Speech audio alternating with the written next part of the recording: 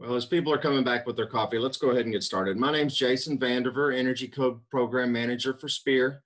Uh, you, all on the webinar should know who SPEER is by now. Uh, you will get a follow-up email from Liz. If anyone is new on the webinar, maybe you got turned on to, to SPEER from a colleague or something and want to know more, uh, feel free to reach out to me or Liz. Uh, a little bit of housekeeping. The, this is a two-hour presentation, so you will get two hours of ICC CEUs for today's presentation. And I don't see my volume button up and down. I'm assuming you can hear me. If maybe somebody could type into the chat uh, that you are hearing me this morning, that would be helpful. I don't know why. Typically, you see the volume moving up and down, but I, I assume it's working correctly. There we go. Somebody chatted in. Okay, y'all can hear me. Thanks so much. Um, so just real quick, uh, the today's speaker is Reid Hart. He's an engineer with the Pacific Northwest National Laboratory. That's the national lab that basically when you send in your COMcheck questions, it's those engineers that are answering those questions. I just wanted to show you guys real quickly the Building Energy Codes program. You just Google Building Energy Codes program training this tab will come up or, this page can come up uh, just so you know the, so looking on the training tab, there's tons of different uh, presentations they have ready to go. Now, of course, if you're not watching them live, you don't get the ICC CEUs. But if you just need to uh, a little recap or you need to learn a little bit more, they cover everything. Uh, I do see on here daylighting controls. Uh, we do have uh, just FYI next Wednesday. Um, Christopher Dunn with uh, Lighting Associates will be doing a hour and a half over lighting requirements in the 2018 IECC. So for any of the jurisdictions that have moved to the 2018 or are thinking about moving to the 2018, uh, we'll be doing that next week.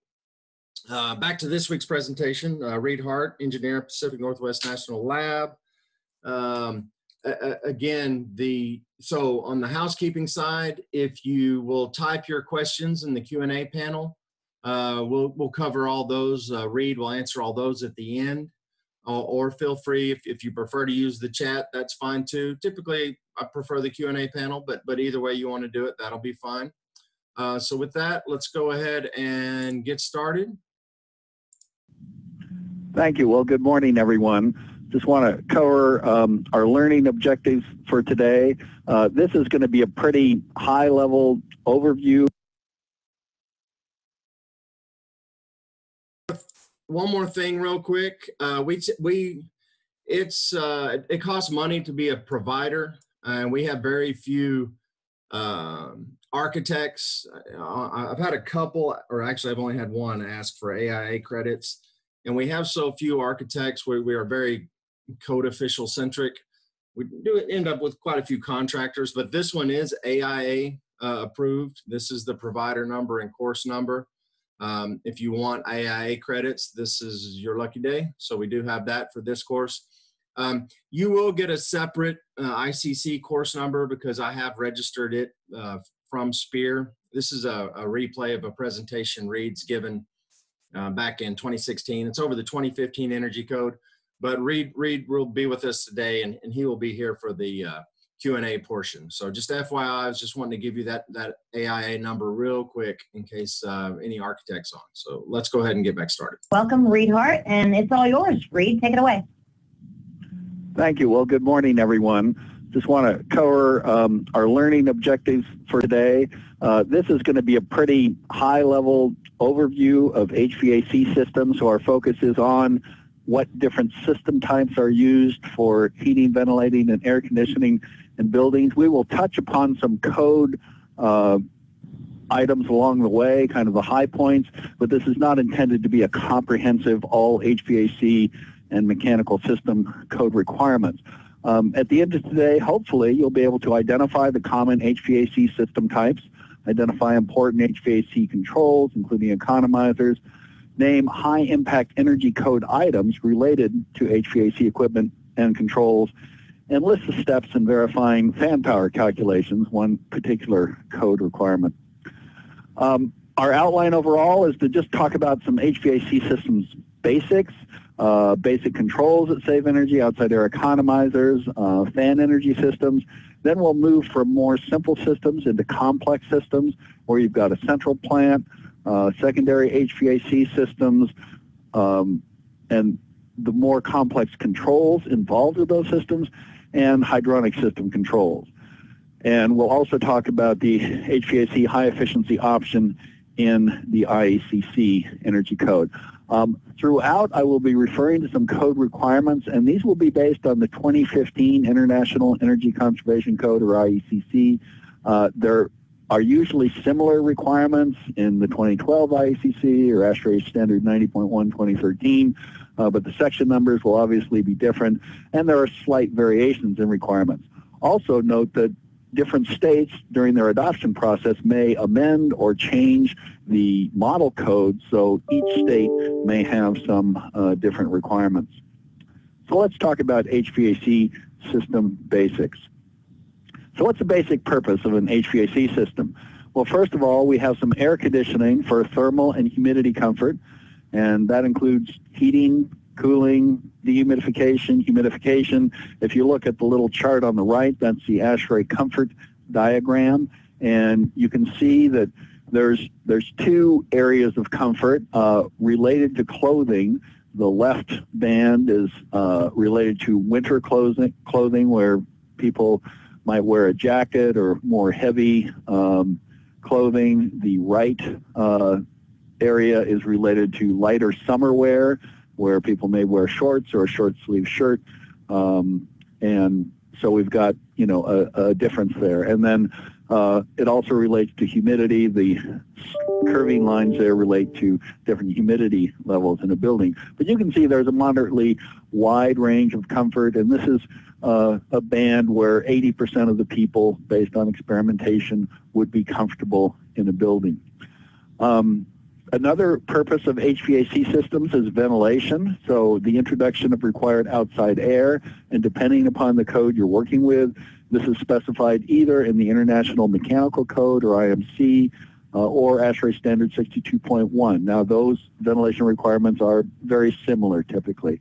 They tend to follow each other. Um, there's also, as part of ventilation, and, and, by the way, the word ventilation um, includes movement of recirculated air as well, not just outside air. So when we talk about outside air, that's specifically named outside air in the code. Um, but filtration of recirculated air is included in ventilation. Also the exhaust of undesirable air from toilet rooms, kitchens, lab exhaust, that sort of thing. And air movement in the space is considered by some people to be beneficial and people feeling comfortable, but obviously not required as there are radiant systems that don't involve that. Uh, space pressurization may also be part of the HVAC system purpose. In other words, keeping a positive pressure. This is more typical in commercial buildings so that you keep infiltration out during the occupied hours uh, and also uh, making up exhaust air. So if you have a lot of exhaust air, you need to make sure that you're bringing in outside air uh, in equal volume so that you aren't uh, having the front door get sucked in uh, to, you know, provide makeup air uh, back into, say, the kitchen. So let's talk about this idea of heating and cooling. And it's based on heat gain versus heat loss. Heat loss occurs in the winter.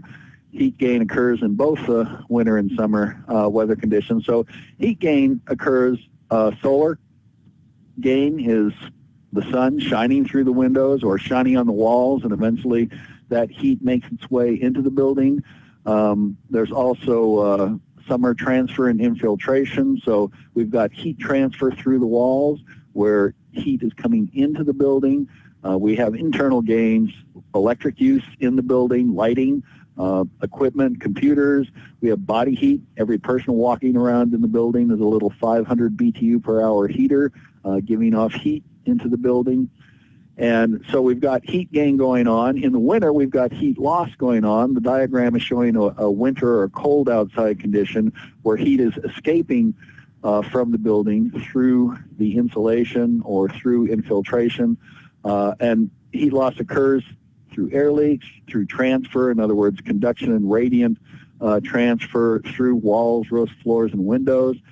And there's a balance then between heat gain and heat loss. If we're gaining more heat than we're losing, and that can occur in the winter where there's enough internal loads, especially in a commercial building where we still need to get rid of heat, then we need to provide cooling or air conditioning. The term air conditioning is somewhat broad, including some of the other items we mentioned earlier, um, but it also can refer to just cooling.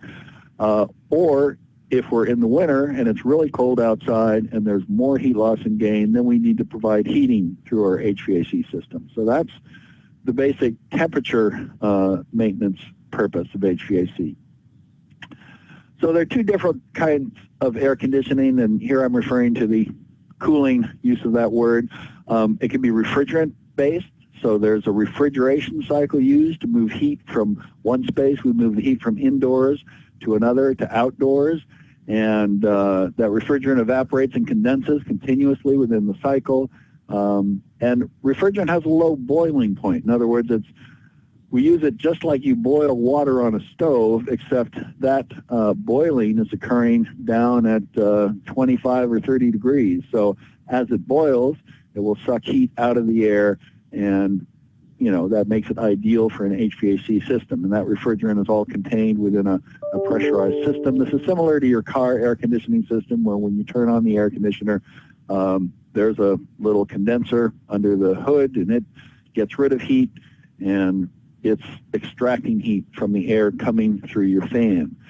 Non-refrigerant cooling uh, is evaporative cooling, maybe also called a swamp cooler. Um, not typically used, but in some um, some buildings they may use evaporative cooling to help with the cooling process or provide all the cooling if they don't have refrigerant-based air conditioning. Also, our uh, systems can be simple versus complex. Now, that is no longer a code distinction in the 2015 IECC in 2012 and before. Simple systems versus complex were uh, a distinction, and in 90.1, there's still a simple, uh, simple system section for single zone units that refers to different sections in the rest of the code so that you don't have to follow through all the complex things when you've got a simple system. Uh, simple systems often use direct expansion coils or direct heating, say through a furnace. Uh, the refrigerant is used to directly cool the air. Direct expansion is also called DX cooling, is another name for it. In other words, the refrigerant is right in the cooling coil, and it's used to extract heat from the air. Uh, on the heating side, we might use gas, oil, or electricity in a furnace to heat the air. Um, and simple systems usually serve one zone, and the unit, uh, and we'll talk about units in a minute, is directly controlled by a thermostat in that zone. Complex systems um, have a little bit more of an architecture. Uh, they have a central plant with heat generators and cooling generators, um, and they use chilled water or heating water hydronically. Hydronic just means working with water. Uh, there may be glycol in those solutions uh, to prevent freezing, but basically we're, we're using a liquid fluid to move heat throughout the building. It goes out to secondary systems where we heat and cool uh, as needed for the zone or zones supplied from that secondary system. So typically a complex system will serve multiple zones. So in all cases in buildings, uh, the code requires that someone do an actual load calculation. Uh, this can be done with computer software. There's uh, manual N for commercial load calculations by uh, ACCA.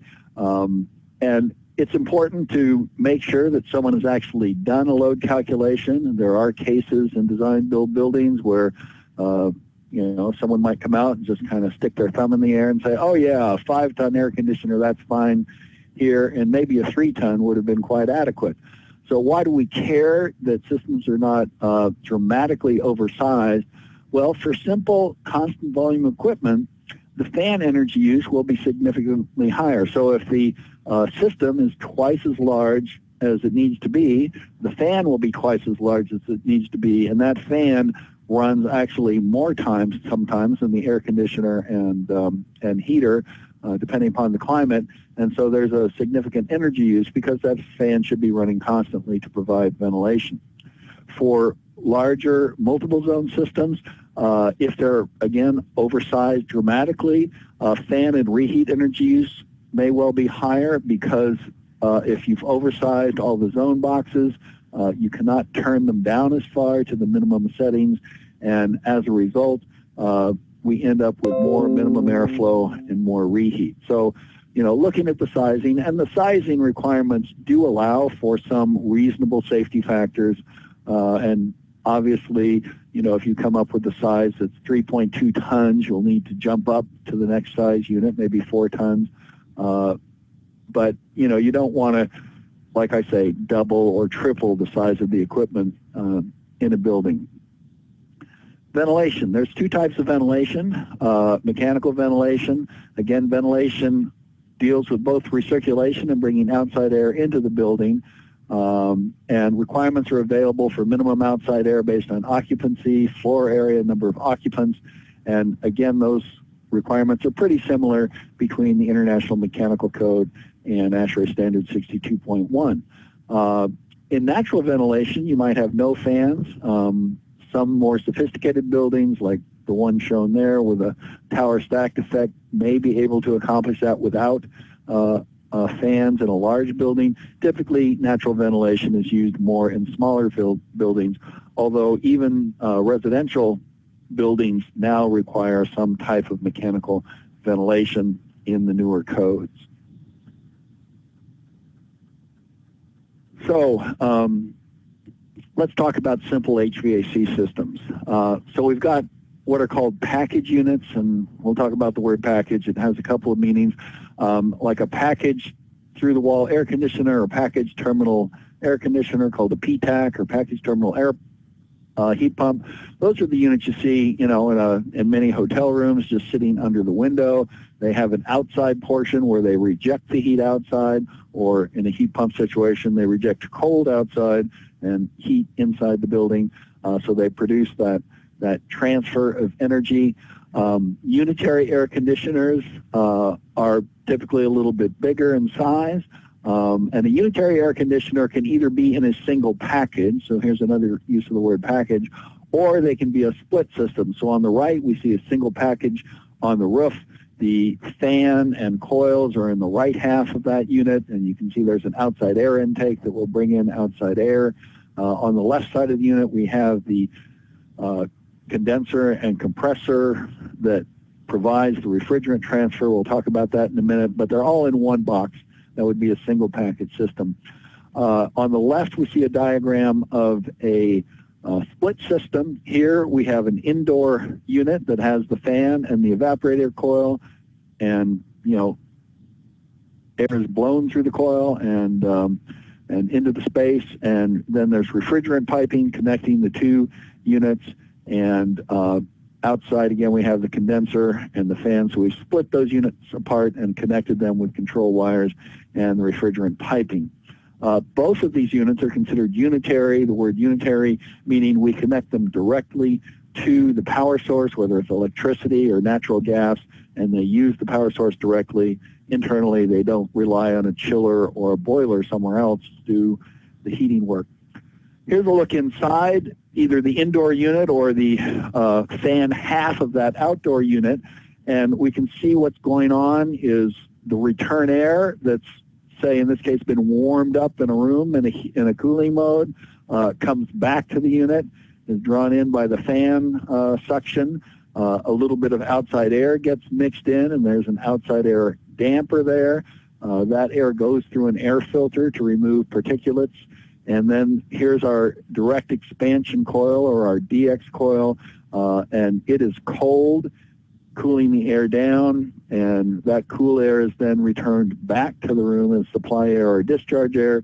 The room thermostat senses the temperature, and it will connect to the unit system board that turns on and off the compressor. So we haven't shown the compressor in this picture, but this coil is connected to the compressor, and um, that's your basic airflow. So we're taking air and we're transferring, um, we're taking heat out of the air within the cooling mode and putting that um, cold air back into the room. Uh, if this was a heat pump, the cycle would be reversed and this coil would be hot. It would be reversed with the outside coil and uh, we would put heat into the air.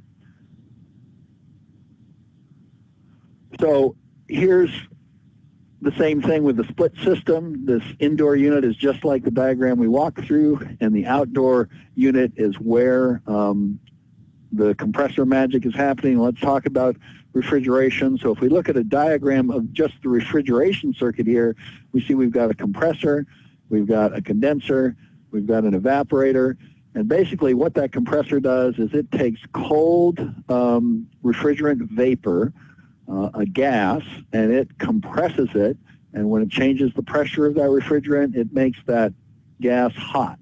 Uh, and that hot gas then moves out to the condenser, and it makes the condenser hot. The condenser then, uh, there's a fan blowing air through that condenser that rejects the heat to the outdoors, uh, and then we end up with a liquid that is hot, a hot refrigerant liquid. That liquid comes back here and it goes through an expansion device. As it does, it boils literally. Again, we're boiling at a lower temperature because it's a different uh, refrigerant, it's a different chemical than water. And we boil at that low temperature and as we boil it, we extract the heat out of it.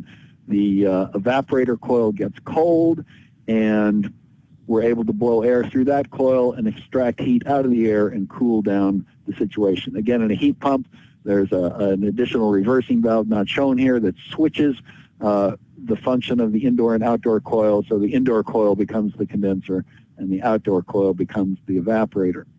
The energy use in this system is in the fan uh, blower indoors, in the fan blower outdoors, and in the compressor uh, that is moving that refrigerant back and forth.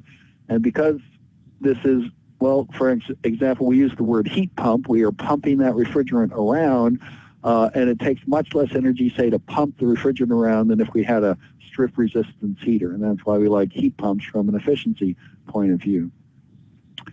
There's um, a more modified or, or newer type of unit. Actually, these have been around for quite a while in Asia uh, and, and Europe, been quite popular because they're easier to retrofit into buildings that are hundreds of years old. Uh, and this is variable refrigerant flow. So this is uh, basically the same concept. We've got a compressor out here, and it's the heat pump concept. But we've got now multiple indoor units, and we've got a smart little switching box here hooked up to the controls for all these units. And it says, well, which unit wants to be in cooling and which unit wants to be in, in heating. And it will um, distribute the either the um, liquid uh, to expand uh, in cooling to the units that want cooling, or it will distribute that um, that hot gas to the units that want heating. And so we have a heat pump that actually cycles heat between zones as well as switching this compressor between either being in a heating or cooling mode depending upon the balance of all these zones. I know that was a pretty quick explanation, but these units are becoming more popular. The controls are fairly complicated, and typically the manufacturer is involved closely uh, with the contractor in uh, installing these these units, um, and they're up and coming in in the marketplace.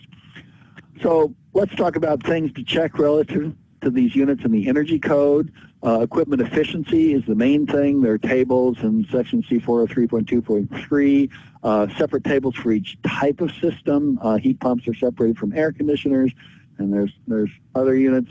Uh, there are different efficiency ratings depending upon the type of the unit and the size of the unit. So you have to know what the output capacity is for an air conditioner in cooling mode. You can see there's different uh, sizes and there are different efficiency ratings. So a smaller unit might be rated in SEER or seasonal energy efficiency ratio. A larger unit might be rated in both EER and IEER, uh, energy efficiency ratio and integrated energy efficiency ratio. And when we have multiple requirements, like for instance in this, um, you know, medium size uh, packaged air conditioner, or it could be a split air conditioner for that matter, uh, we have these requirements to meet. We have to meet both the EER and the IEER. And again, with all these requirements, uh, a higher number is better. So if the number on the nameplate or on the documentation for the unit that's installed is bigger than the number shown on the table, you're good with the code. Now, the importance of equipment efficiency, uh, you know, there, there's a bit of an interesting situation here because we have multiple regulations covering this equipment. Uh, there's federal manufacturing reg regulations or standards, and if you're interested in those, there's a, a web link. Uh, that web link is not on the currently posted slide, but we will get up a slide for that. We had a question about that this morning. Um, and, you know, the, um, the equipment must meet those manufacturing requirements. Now, there are recently been uh, regional requirements in place, and again, these federal requirements typically relate especially to single-phase, smaller size equipment. Uh, and the regional requirements, from my understanding, and I'm not an expert in this area, but relate to units rated in SEER, uh, and not to other units. Now, one artifact of the fact that our codes get adopted and then they go through an adoption cycle, it may take three years before a new code gets into place uh, in states or even longer. Uh, the tables may not be up to the current federal condition. In fact, there are often states here about new requirements coming into place.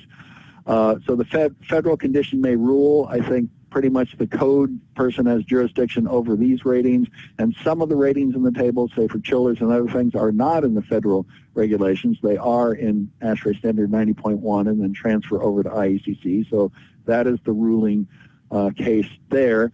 Um, there are regional requirements now where, for instance, there is a higher SEER rating required in the southern United States and actually in the Southwest, there's also an EER requirement in addition to the SEER requirement. Uh, and so those apply um, if you know a code official found that something did not meet the federal requirements. You could find at this page. They could, uh, you know, notify the um, DOE Energy Enforcement line on uh, a violation there. However, that inspection is probably not under the jurisdiction of code beyond what's in the tables, which again may be out of date. So that's a little bit of a confusing area from an enforcement point of view, but basically there is enforcement on the manufacturing side. And we do have cases where uh, one state may adopt the most recent code and the state next door may have an older code. Uh, the federal regulation requirements for these new regional ones are based on date of manufacturer. So they could be inventory that's been out there several years that would be legal to install in, in the state with the older code, but not necessarily legal to install in the state with the newer code. So I hope that didn't confuse everyone. Um, we talked about variable refrigerant flow a minute ago, and that system efficiency is not covered in the 2015 IECC, but it is in ASHRAE Standard 90.1 2013. So depending upon which code you're following, uh, there may or may not be VRF requirements, although I believe almost all VRF systems available pretty much are, you know, manufactured above the level of, of what is in those ASHRAE tables. So let's move on from the actual equipment to controls and basic controls that can save us some energy. Again, we're hitting the high points. There are several pages of control requirements in the code. Now I'm going to mention this, it's not indoor HVAC, but it is in the mechanical code. Snow and ice melt heater control. Uh, you know, if we've got some heaters under this walkway that, you know, keep it clear in the winter in, in our northern climates, um, that is a system that if it is not properly controlled, let's say it stays on all summer long, can use a tremendous amount of energy. So not every building has this, uh, few of them do. But I guess I want to point out that if they do have a system, there are some control requirements in the code that you should make sure that they meet. There's some precipitation sensing requirements and temperature requirements so that this unit is not really running when it doesn't need to be. Uh, the other items we want to talk about are temperature setback scheduling, uh, thermostat deadband, and economizer controls. And we previously mentioned proper equipment sizing. That's another high impact measures, and we'll get to the rest of these um, in a bit. So temperature setback scheduling. Uh, commercial buildings require that uh, for single zone units you have a uh, thermostat that has a seven day schedule in it so you can set up uh, a nighttime temperature that's either a setup or a setback. Um, there needs to be some manual override. There's some pretty specific uh, requirements in the code on this. Now, one thing I want to address is an energy myth. Some people think setback does not save energy because it takes so long to warm up the building in the morning. Well, this is not true. And the reason it's not true is a building typically has a very large um, heat loss area, the entire envelope of the building related to the mass in the building. And so um, that means the building's going to cool down relatively quickly, and uh, it would take a fair amount of energy to keep it warm during unoccupied hours. And consider this, out of 87, 60 hours in a year, a building is only occupied two to 3,000 hours. So that means there's another 5,000 plus hours that that building is unoccupied. So the unoccupied period is usually twice as long as the occupied period in most buildings, not all buildings. And um, given that, it's important to get that temperature set back. Uh, an occupant sensor is an alternative, although not typically used. Um, although now there are requirements for occupancy sensors of some kind in uh, hotel rooms. Uh, so be aware of that. I actually that may be an ASHRAE and not in uh, 2015, but it is coming in in 2018. Um, DDC systems. So you could have a bunch of single zone units controlled by a DDC system, or you could have DDC system controlling more complex systems.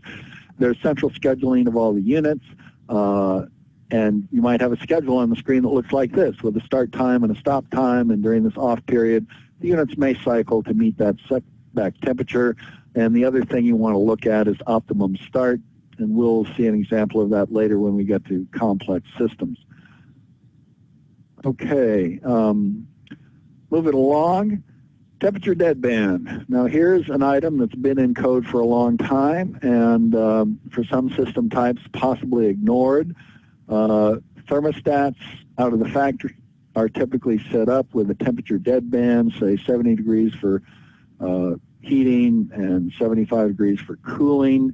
Uh, if the heating is set at 70 degrees, then the cooling is supposed to, according to code, be set up to 75 degrees or higher. Now, obviously, once the occupancy permit's issued, the code, you know, doesn't necessarily apply, but at the time of inspection, it would be good to look and see if units are set up with those uh, types of deadbands. Um, you know, the code does carry through the inspection, and a lot of the language in the code has recently changed from things being capable of to being capable of and configured to, which implies that we want to inspect and understand that things are configured to operate properly, even though they may get changed later. Why do we want to do this? Well, simple systems can fight each other. So especially if you say you've got an open office area, you might have an open, open office area with five or six different control zones in it. And if I've got um, something set with cooling down at 68 degrees and the zone next to it set with the heating up at 75 degrees, well, all that cool air is going to go over and need to be heated up into the adjacent zone. So it's important that we have um, a good temperature deadband and you know, it's not required in code, but it's also a good idea to have consistent settings in those large open office areas. Uh, VAV systems also may have excessive reheat settings if excessive reheat if their settings are too tight, and we'll talk about that more in a minute when we get to VAV or variable air volume systems. Um, Energy Star recommends factory default set points of uh, heating at 70 and cooling at 78. Uh, there used to be Energy Star uh, thermostats, but I believe those are not necessarily currently in practice. There's but there is a uh, proposed process. They're trying to develop that again. If you look at um, a DDC system, uh, rather than in the thermostat settings, you may see that again on a screen for what the set points are for heating and cooling or in a trend log uh, for heating and cooling set points uh, throughout time. Now let's talk about outside air economizers. This can be a, a confusing issue and frankly many uh, uh, contractors can be confused about how to properly set these up, and uh, and and it's good to make sure they're working properly. What's what's the idea of an economizer? Well, we've got a little circle of ventilation air going on here. So let's say we have 10% outside air coming in, and that's mixing with our return air, and it goes to the ventilated space, and then we exhaust air out of there. that 10% or 20% is probably great for the minimum ventilation requirements. Uh, but we can get some benefit out of increasing that amount during certain time periods. So again, commercial buildings have a lot of internal loads, so there may well be a cooling load when the air is 60 degrees outside. So what I can do is increase that to 100% outside air when it's 60 degrees out and cool my space off, and that means I will be running my refrigeration cooling coil less by bringing in that outside air. So we'll, we'll hit that concept again a couple times. Now let's go back to our, our fan unit here it's a nice, simple situation. We've got the return air coming back. We cool it down. We put it in the space. We've got our minimum amount of outside air coming in, say 10 to 20 percent. Uh, and, you know, everything's good. It's pretty simple to understand. We set our room thermostat, as we were just talking about a minute ago, and everything runs fine. Well, let's add an economizer. Gee, life just got more complicated, didn't it? We added a lot more controls. We added a lot more equipment. Uh, we've got a bigger outside air damper. We've got a return air damper now. We've got a damper motor that operates those two automatically. That damper motor is connected to an economizer controller. It'll have uh, at least an outside air temperature sensor. It may have an enthalpy sensor as well. We'll talk about that in a minute. Uh, it may have a return air sensor. It may not. Uh, there's also a, a, relief damper of some kind, whether it's powered damper or barometric relief, because when I go to 100% outside air and I'm filling that space with outside air, that air needs a place to go. So there should be a relief damper installed that lets the air out of the building. There may also be an optional power relief fan that helps that air get out of there and maintain a pressure inside the building so the front doors are not standing open. If you see that, that's an indication the uh, space is not balanced as far as uh, pressure and airflow. Um, but you can see we've added some complexity to this entire system. And, uh, and that means the contractor has to understand what he's putting in. And, um, you know, if, if you really want to inspect it in detail, I, I do an eight-hour basic training and eight-hour advanced training on these units, and, and that advanced training includes demand control ventilation. Uh, but, you know, it, it takes a while to understand these systems and how to make them work. Now, here's an example of some of the control components in the system. Uh, we showed the dampers in, in the earlier slide, didn't show them here, but we've got dampers, we've got damper motors, or a single motor that's connected to both dampers. We've got mixed air temperature or discharge air temperature sensors. May look like this or like this. Uh, outside air return air sensors may look, look like this. Uh, those can be dry bulb or include the humidity that gives the total enthalpy reading. Um, there are some code requirements. The outside air ductwork needs to be large enough. Uh, there needs to be a relief damper provided so that somewhere it may be located right in the unit or it may be located in the return air ductwork if that's up on the roof. Um, so the air can get out of there. It needs to be integrated which means it operates with a compressor and it's coordinated with cooling. And we'll talk about some of the other control requirements um, on the next slide. Well, on a slide in a minute. First, let's talk about savings and understand that. So um, why do we put an economizer in? So when the outside air is cool, and this dotted line is outside air, when it's cool enough, instead of running the uh, cooling compressor, and this line represents the energy used by the chiller or the cooling compressor. Uh, you can see it turns off and goes back to a dual roar after hours. Uh, we can use the outside air. And so when the outside air is open and things are working, we can get rid of this region of, of energy use. So in other words, without the economizer, this line would have been up here to cool the building off because we would have only had 10% outside air. So when the air is cool enough, we can use it to cool the building instead of putting power into our chiller or our um, or our refrigerant uh, energy cycle. So really the savings occurs in the settings. And this is an area where unfortunately um, contractors do not un always understand the proper settings. Uh, so there are there needs to be a high limit on an economizer. In other words, the economizer only makes sense when the air outside is colder than it is inside, right? Uh, so we can do that about three or four different ways. Uh, so a fixed dry bulb, and, and these are in a code table as far as what climate zones you can uh, use these in and what the setting should be based on climate zones. So the fixed dry bulb would cut off at 75 in, in western climate zones, 70 or 65 in more eastern climate zones. Uh, so there's a setting, and that setting should match, again, at the time of inspection, what is in the code table. And again, the table lists it by climate zone. That's a fixed dry bulb, a single dry bulb sensor. The differential dry bulb uh, cuts off when the outside air temperature is greater than the return air temperature. So here you have two sensors, one in the outside, one in the return air. Uh, that doesn't have a temperature setting because internally it's looking at the difference between those temperatures. Now one thing to understand is the differential dry bulb is no longer allowed in the southeastern uh, climate zones and that's a change in 2015 ICC that came over from um, the ASHRAE 90.1. Uh, there also are fixed or differential enthalpy um, high limits. So those look at also the moisture in the outside air. Those are more appropriate in those so southeastern climates, not necessarily helpful in western climates where the air is drier. And uh, it adjusts for humidity with the idea that if the air is humid, even if it's cool, all that water is going to come out in the cooling coil and increase energy use, so it may um, actually not be helpful to bring in the outside air. Now, the enthalpy controls now require a paired dry bulb high limit, and, and again, that was a change in 90.1 that got carried into 2015 uh, ICC, and that relates to the fact that the humidity sensors are not always as accurate as we would like them to be, or they fail sometimes, and so that dry bulb high limit is kind of in there as a safety, you know, at 75 degrees, saying, hey, if it got up to 80 degrees and the enthalpy didn't switch us over, we really want to want to turn off the economizer. So those are the high limit settings, and we'll see in a minute where you find those.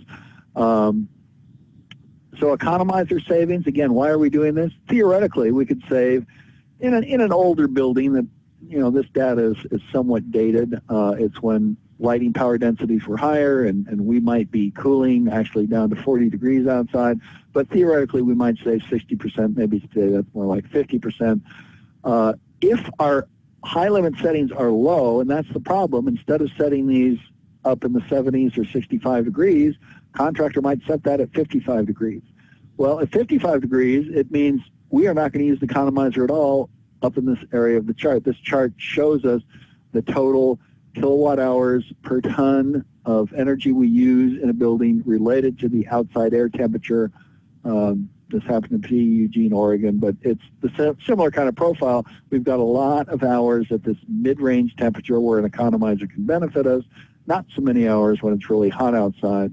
Uh, and you can see here we, we absolutely need mechanical cooling in the dark blue.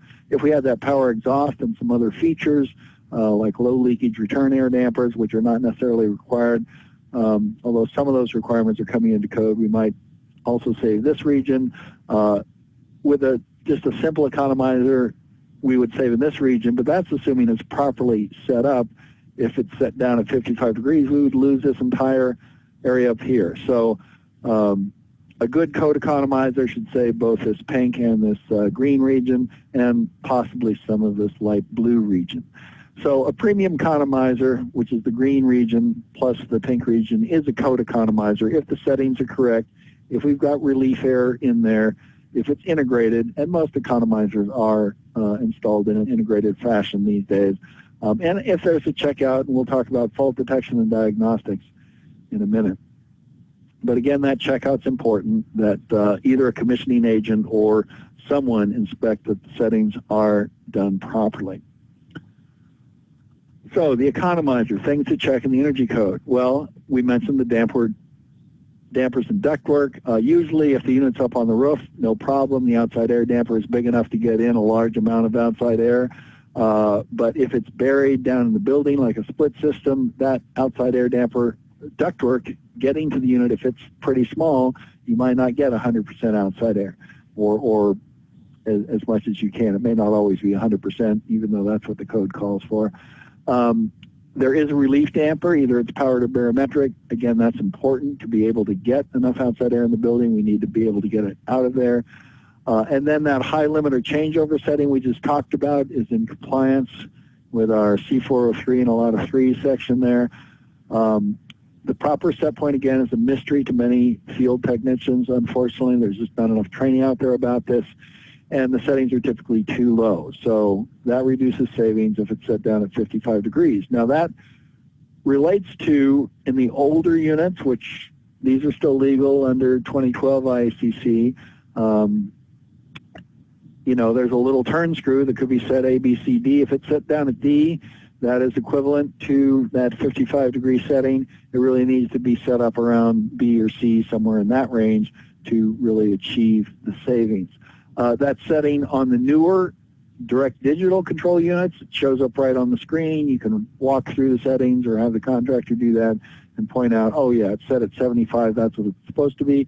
In fact, this uh, right-hand unit, uh, you put in the zip code and it automatically sets it according to the code table. So that's a pretty pretty nifty feature um, that you know is automatically keeping the unit in compliance with the code.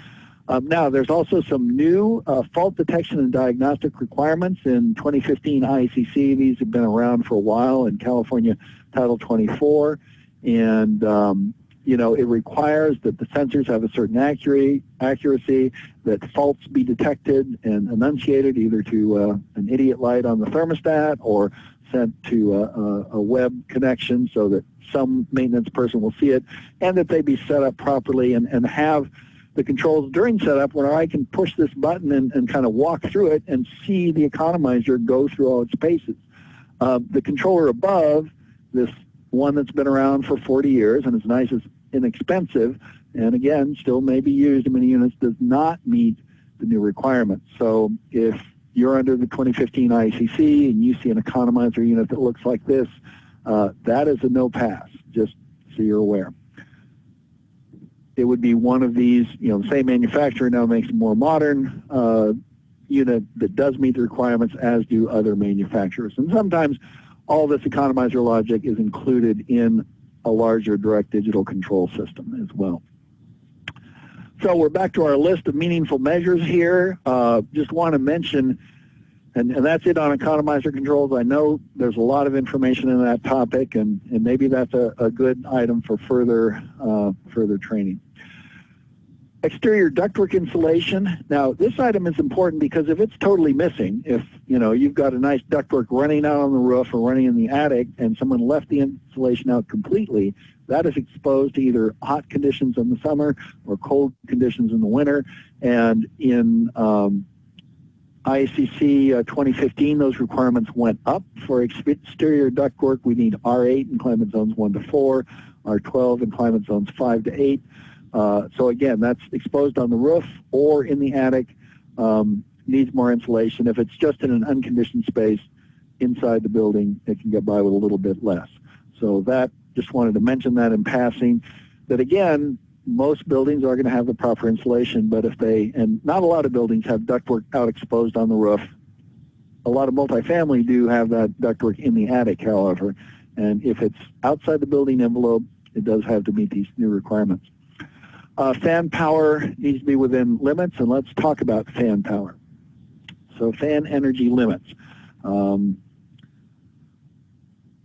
what goes on in a fan? Well, a fan, the purpose of a fan is to move move airflow. So we have a, a, an air horsepower actually we're trying to achieve with this fan related to how many CFM we want to move, what the static pressure is in the ductwork, static pressure.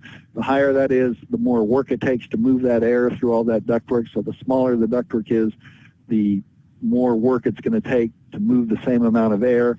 Uh, well, the fan itself might be 70% efficient. It might only be 50% efficient. So there's some losses here at the fan. Uh, we go over to the fan belt. Most larger fans will have a fan belt to adjust their speed properly. Um, that might have a 6% loss. Some fans that might even be up to 20%, but there's there's a belt loss involved. Uh, and then we get to the motor, and the motor has a certain efficiency, uh, so we lose maybe 20%, maybe less if we have a high efficiency motor. And there's even losses in this wire going back to the electric meter. So we add all that up, and overall this fan efficiency in total might be only 52%. So the energy code manages the overall large fan efficiency by limiting the nameplate motor horsepower or the fan brake horsepower per CFM of airflow supplied. So we just do a simple ratio. That way you don't need to get into the detail of all these different stages of efficiency. Uh, and let's see how that works. So there's a, a good old fan power limitation table. Again, this is a reference for 2015 IECC. Uh, it either meets the nameplate horsepower or the fan brake horsepower.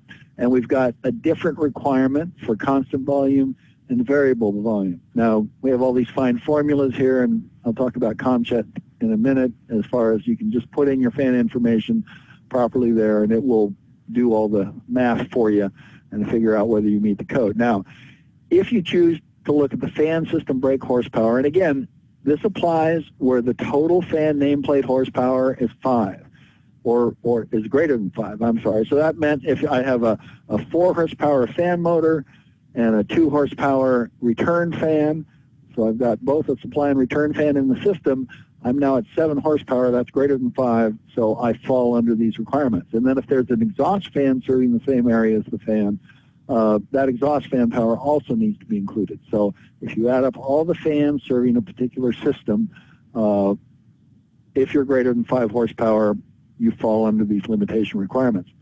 So the simple way to do this is the nameplate horsepower, and you get a certain allowance that kind of includes everything, including the motor efficiency, and there you go. Now, for a more complex system, uh, an engineer might want to go with the brake horsepower approach and usually should show you these calculations um, either as a submittal or, or on the drawings. And that brake horsepower needs to be less than that supply CFM. Again, this is based on supply CFM times a factor. Factor is different for constant volume and variable volume fans. And then there's this little A adder. What's that? Well, the A adder takes into account the fact that some systems need a little bit more horsepower than other systems. So there's a separate table with the adjustment, and this is basically going down all these different conditions, and they relate to um, the CFM going through a particular device, whether it's a heat exchanger, exhaust filters, uh, filters, and they get a certain addition of static pressure that goes in there with this little formula and you add them all up. Again, this is all taken care of for you in um, COMcheck uh, software. So those are the different uh, steps in understanding uh, fan limit. You need to understand, is this fan variable volume or constant volume? It's constant volume if there's no variable speed drive or no two-speed operation. Uh, variable volume if it does have a variation in volume that's uh, included. And I, I do want to mention COMcheck. There's a completely separate training that's available on the website for COMcheck. I think uh, Pam will mention later exactly where to find that. Uh, but we can determine the fan power lim limitation compliance for each fan system uh, either based on, again, the nameplate or the brake horsepower. You can choose which method you're going to do, and all those pressure drop credits can be put into this system. Now, one thing to understand is we need all supply, return, and exhaust fans in each system. One question that often comes up on the code help desk is, gee, I've got an exhaust fan for the restrooms and there's three supply systems next to it. Well, you have a choice there. You can either assign that exhaust fan to one of the supply systems in particular, or you can allocate partial exhaust to each system and allocate that exhaust horsepower uh, to all the systems involved. And one thing to be aware of in in um, in COMcheck is you don't have if if you've got 25 uh, supply fans that are identical, say 25 rooftop units on your building, and they're all the same, you don't need to enter them 25 times. You can just say, I've got 25 of these, I can enter it once, and you can assign it to the different HVAC systems in the building. So that can uh, save some time and, and using COMcheck uh, to meet the code compliance. All right, let's talk about variable speed. We, we mentioned that a little bit, variable speed drives. Now, um, reducing fan or pump speed saves energy at partial flow. So if I have a fan and I want to reduce the flow or a pump and I want to reduce the, the GPM, so the fan flow might be in cubic feet per minute, uh, pump flow would be in gallons per minute. If I want to just reduce it by either using a damper or a valve, I would do what's called riding the fan curve, and I would come down this line called normal. So what that means is at 40% flow, I would still be at 80% energy use, okay? If I put a variable speed drive on that fan with some sort of sensing device, a pressure sensor, or a more sophisticated control system that looks at all my valves or dampers, uh, and I reduce the speed of the fan relative to the flow that I need, I can see now at 80% flow, I'm using only 50% energy. So there's a significant savings and reduction for variable speed drives. So fans and hydronic and multiple zone systems must be variable flow, okay? Uh, pretty much. So that if it's a direct expansion system above 65,000 BTUs per hour, um, I need at least a two-speed fan on a DX unit. If it's chilled water system, a chilled water coil, anything above a quarter horsepower, I need either a variable speed drive or a variable speed motor. So under one horsepower, I might have an, an electrically, electronically commutated motor, an ECM, that has speed control built into it. Above that, I'm going to need a variable speed drive. This is what a variable speed drive looks like. So, um, so most chilled water system fans, if, if the cooling is by chilled water, must have variable speed drives. So, and we talked about the potential savings here. Uh, if we can vary the speed, we get a huge savings in energy. And most units don't run or don't need to run at full speed except for those very hot uh, design days on the cooling side, or we do need maybe a little boost in, in airspeed uh, at the peak heating condition. So a variable speed drive should be evident or a, a multi-speed motor either at the site, you're going to see some something like this connected to the fan or on the specifications uh, or in the drawings, there, there should be information saying particular fan is variable speed. So I think that's it on fans uh, for today. Again, we're, we're covering a lot of material and we're covering it pretty quick, so hang in there. Now let's go into more complex systems. And these systems We'll have secondary systems and a central plant, which let's tackle the central plant first. So we've got our system out there, the secondary system we'll talk about in a minute, and it needs uh, cold water to cool and hot water to heat. Well, where's that coming from? It's coming from the central plant, okay? And um, let's let's talk a little bit about categories of HVAC systems when things start to get complicated and everything is not in one box. So we no longer have a unitary system. We have um, primary, secondary systems, that sort of thing. So the central plant itself has boilers, chillers, and, and cooling towers. The boilers and chillers generate hot water and cold water uh, to go out to the units. So we've got a few pieces of large equipment we're looking at. There's some distribution systems, pumps, uh, pipe and control valves, uh, ductwork diffusers and, and registers. So we distribute the air, we distribute the water throughout the system. And then we have secondary and zonal HVAC systems that would include air handlers with coils and economizers. We might have uh, fan coils that are you know more zonal systems and larger secondary systems. We might have VAV boxes that work in conjunction with the secondary system at the zone level.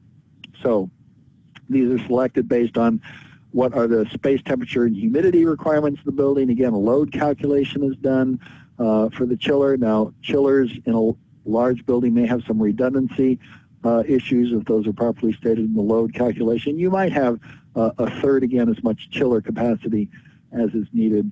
Um, it's all based on first cost, operating cost, and maintenance cost. How much space do we have? You might have a room in the basement with a chiller, a room on the ground floor, or you might have a chiller up on the roof in a penthouse. And there may, again, be redundancy issues in the design of a system, especially a hospital or a, a uh, say, a high reliability data center.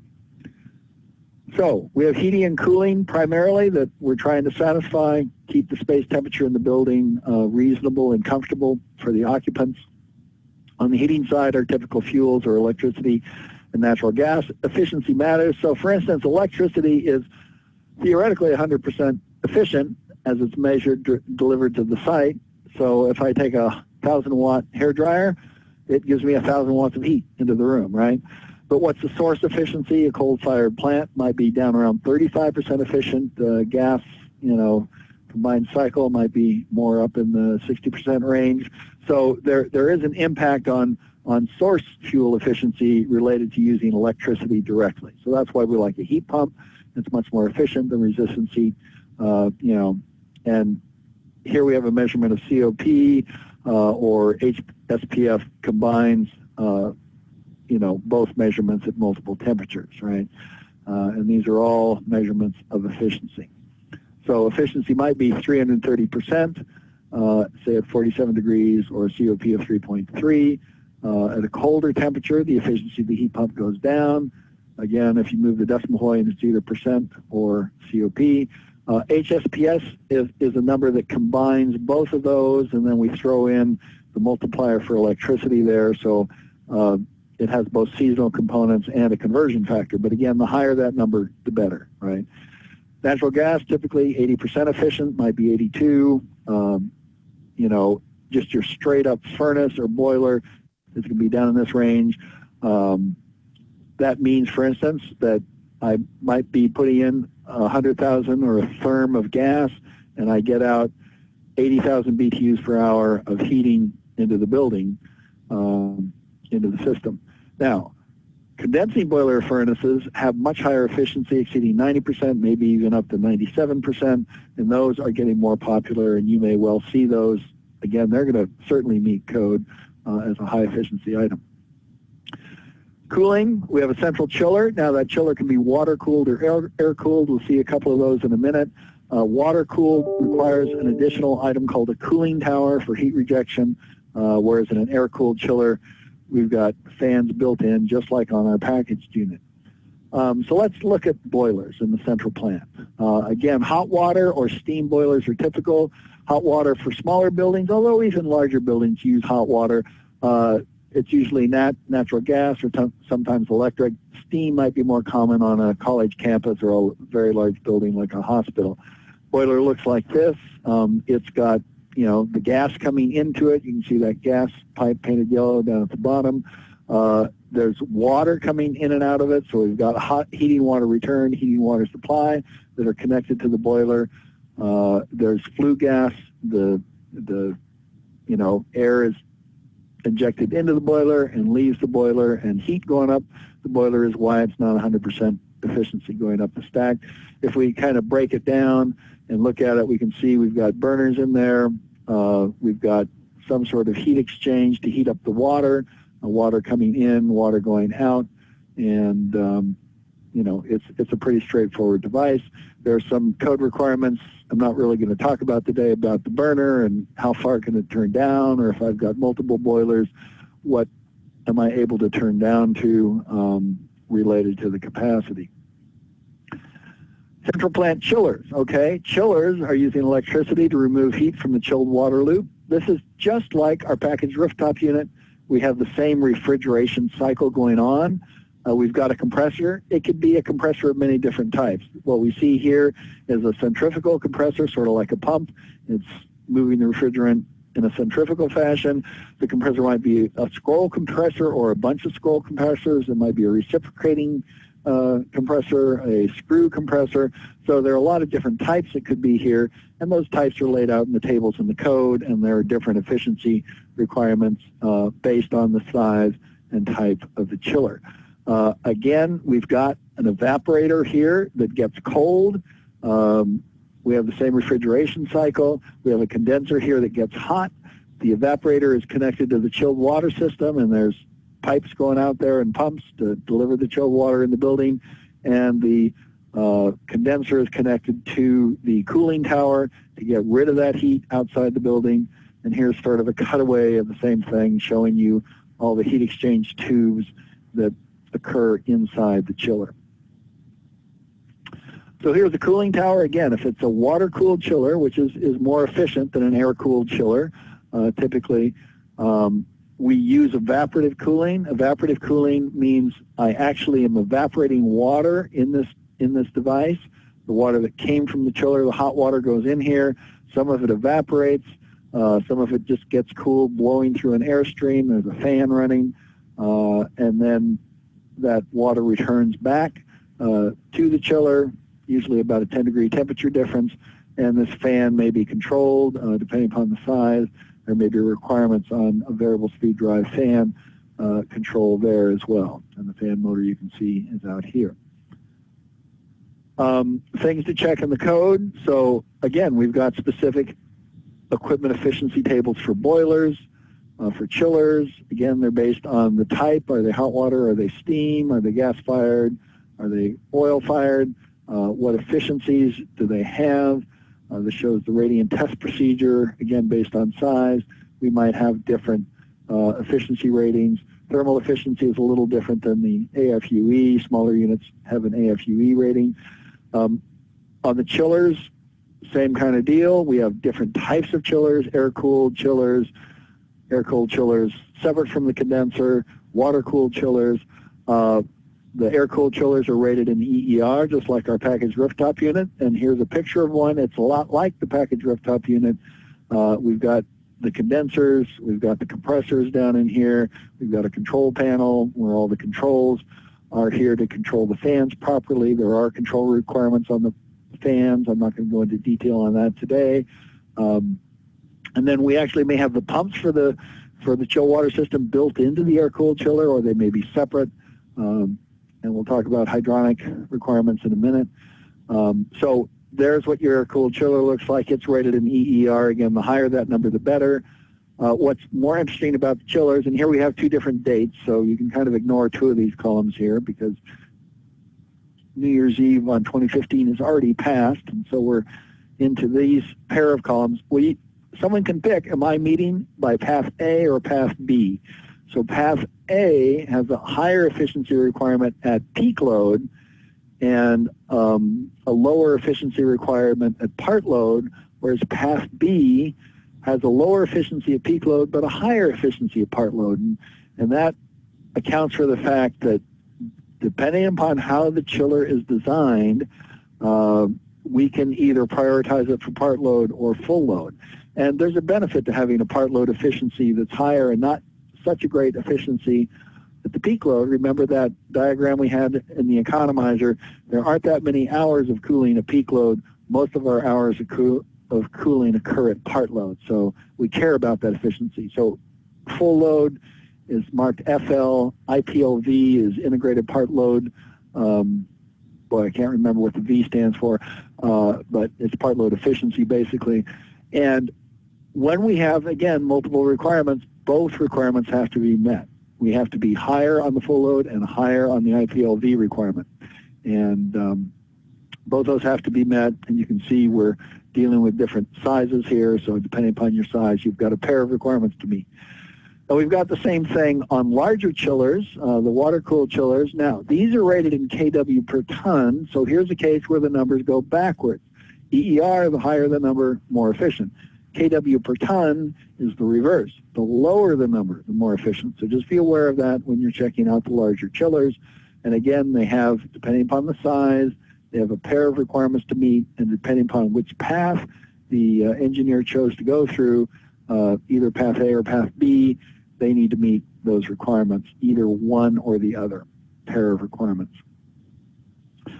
So now that we've got our, our hot water from the boiler and our chilled water uh, from the chiller, we want to go ahead and get those into our system and talk about the secondary systems and how those use energy and how we need to look at those in the building. So you can see in this picture, uh, we've got our chiller and cooling tower up here. We've got our uh, boiler up here. We've got some pumps in there distributing the water out to the coils in our secondary system, which blows air through the building, and the air returns back. And there's some zone controls we'll talk about in a minute, and that makes our complete HVAC system in a larger, more complex building. So these large systems are similar to residential and small commercial HVAC systems, but they're bigger. And there are more moving parts to them, if you will. They work to maintain the comfort in the space just as the small systems do. They may be more expensive, but they're usually more efficient than smaller, simpler systems. That depends.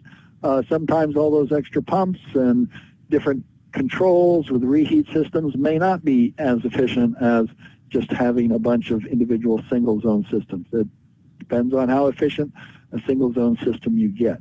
Um, usually heating and cooling energy comes from the central plant and we use chilled water and heating water piping and we pump it throughout the building to get to the coils. And then some uh, packaged VAV systems might be unit, unitary, kind of an intermediate, uh, where we would have a compressor built into this unit. This one does not, and these coils would be uh, DX coils or have a furnace actually built in. This is a, a built-up secondary system. We might actually put this up on the roof, uh, bring the um, air in in through the unit, uh, return the air, um, take it through a fan, have our economizer section, bring it through our coils, and uh, bring it back out through filters into the building. So, um, you know, we've got the fan and coils, just like smaller, simpler systems. Usually these coils are hydronic, using chilled water and hot water.